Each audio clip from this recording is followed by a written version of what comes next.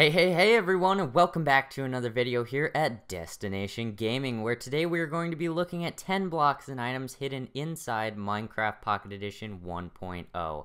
There's secret blocks hidden in the game's files that you can only get through inventory editors, but these blocks are only available using the block IDs that I'll show on the side of the screen as I show each block or item that I'm going to show in this video. Now real quickly before we begin the video, let me just ask you guys to smash that like button down below and let me know you want to see a sequel to this video because the blocks I'm going to be showing you guys today are just 10 of many hidden blocks and items inside Minecraft Pocket Edition 1.0. Also before before we get started, you're probably wondering why the gameplay is shifted all the way to the left side of the video. Now I did the video this way so that I can display the block and item IDs on the sidebar next to the gameplay.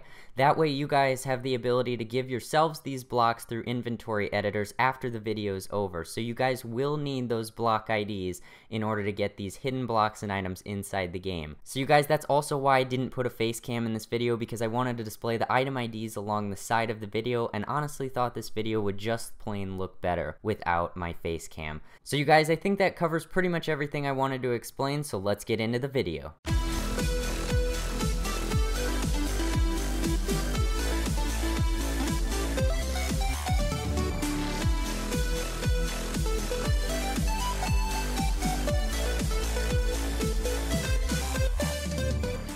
So real quickly you guys, just before we begin the video, I just want to let you know that I always keep a diamond sword and flint and steel in my inventory just in case something unexpected happens when I do these videos. Alright you guys, so we are standing in this tiny little building that I've built here and we're going to be going through all 10 hidden blocks and items that I'm going to be covering in this video inside Minecraft Pocket Edition. So to start, the first block I'm going to be showing you guys is the end portal block. Now in your inventory it looks like the update block which is well known inside Minecraft Pocket Edition. It's a texture that they use for a lot of block IDs that haven't yet been added to the game but because this one is just missing the texture for the inventory and it's obviously not supposed to be found. That's just the way that it looks. So as we place this block here, you guys can see that there's nothing there. There's only a few particles being emitted from the top. But as we jump and look down, we see that this is actually a piece of what would be the middle of an end portal. So if you guys wanted to put these blocks in a build that allows you to go to the end without building the ugly portal,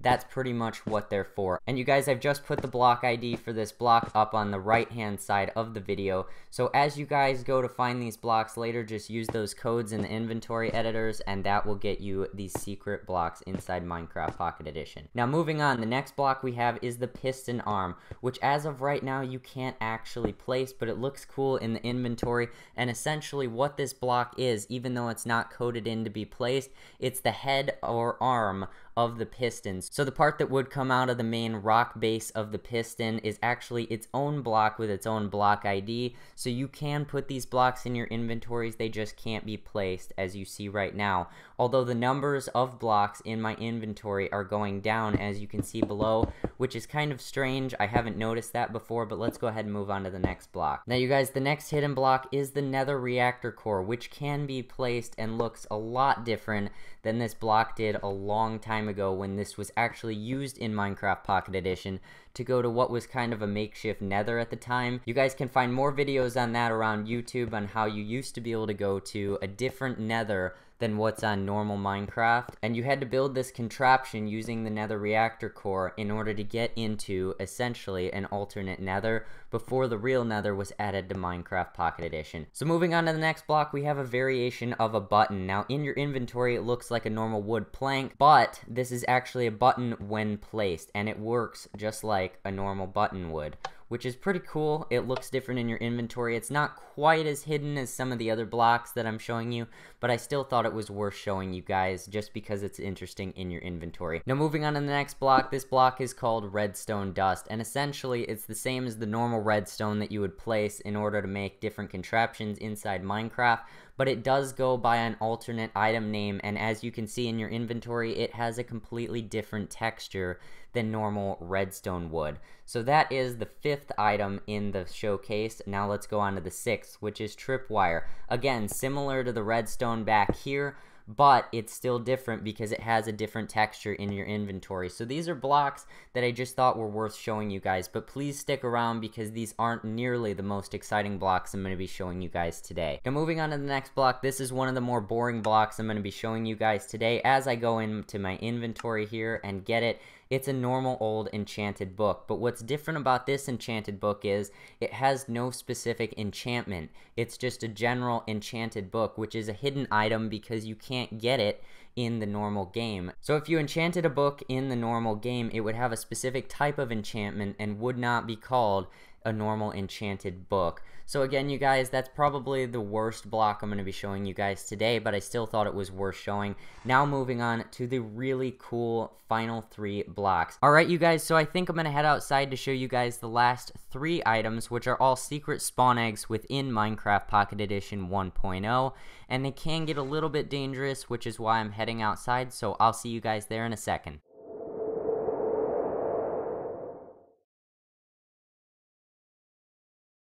Alright you guys, I am now standing outside with the final three items, and I've gone ahead and cleared my inventory and done some stuff, so you'll probably notice that the inventory has changed now that I'm standing outside, but let's go ahead and show the final three items. Alright you guys, so the first of the last three items is called an Ender Charge, and essentially what it is, is it's the Ender Dragon's projectile. So now as we place this, you can see it's the huge purple ball that the Ender Dragon would fire at you in the end. So moving on to the next block, it is the End Crystal, again in egg form. So as we place this, you'll notice that this end crystal does not have the standard bedrock base that a normal end crystal would have. So these end crystals are a lot better for decorating houses and stuff in Minecraft, but they do still explode, so you'll want to keep them away from anybody that comes into your Minecraft world.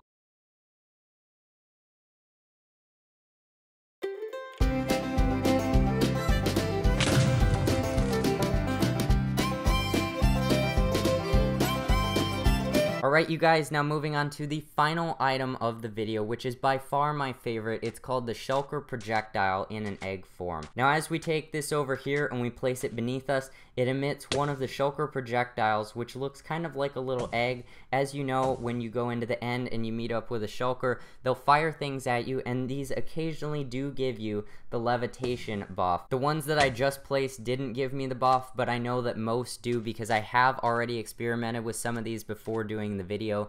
So if you guys want that levitation buff, then feel free to use these eggs in the future. So you guys, that pretty much wraps up today's video. Now, if you haven't already, please drop that like down below to let me know that you guys want to see a sequel to this video. And also be sure to subscribe to become a part of Destination Gaming. And I will see you guys in the next video.